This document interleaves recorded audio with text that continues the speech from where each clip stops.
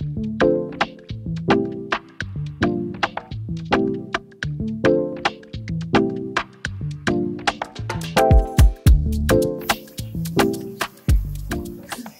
been here open from 10 o'clock until 4 o'clock every day except Saturday, midday we close, Sunday we close all day to get some rest.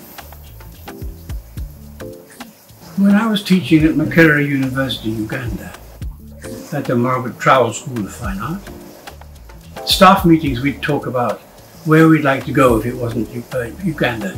Everyone used to say Seychelles. I didn't know who, who they were talking about, where, where it was, or anything about it. But all I know is it was a place to come to in times of trouble or when you wanted a break from the hassle of teaching, which is pretty hard work. So eventually, when I left Uganda, I then came to Seychelles.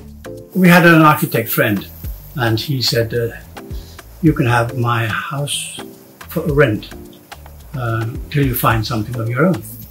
In the end, we bought the house with a little bit of money after people had been buying paintings. I worked very hard painting, painting for living. I've been here 51 years and I don't regret it. Half a century, my God. With Heather, my wife, she steered us through good and bad times, coups, attempted coups, invasions of tourists. God bless them.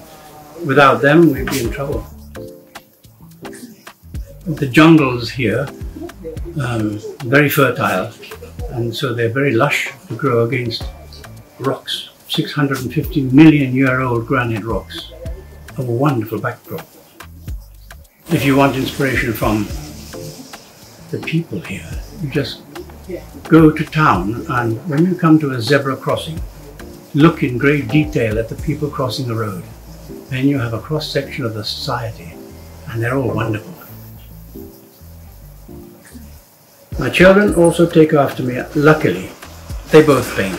Uh, differently, uh, Alyssa in the same vein because she's a forest person. And Tristan very much sea.